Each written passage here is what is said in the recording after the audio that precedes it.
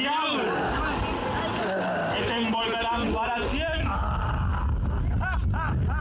Desde el Cerro El Ventarrón, con fe y devoción, se puso en escena la vida, muerte y resurrección de Jesucristo. Pues es un ambiente muy agradable, eh, muy bonito, aparte de que estamos recordando un momento que se vivió hace muchos años, lo que vivió Cristo en, en esos tiempos, eh, recordar lo que sufrió por nosotros.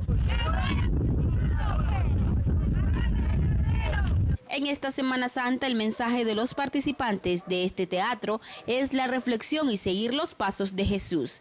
Pues fíjate que como parte de familia tradicionalista eh, me parece excelente. Creo que cumplimos con la meta de, brindarle ese mensaje a, las personas que vienen a vernos y, y de que las personas se metan en la obra, de que lo sientan, este es uno de los atractivos turísticos de Masaya que tiene mucho por recorrer.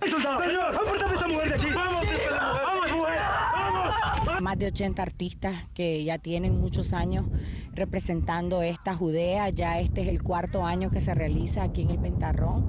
El Instituto Nicaragüense de Turismo, en coordinación con la Alcaldía Municipal y los artistas de la Judea, hemos estado eh, promoviendo este tipo de actividades en, en medio de la estrategia de recreación sana para las familias ahorita durante el verano, que las familias puedan disfrutar de estos espacios. En Crónica TN8, Telma Benavides. Puedo ver, puedo ver, milagro,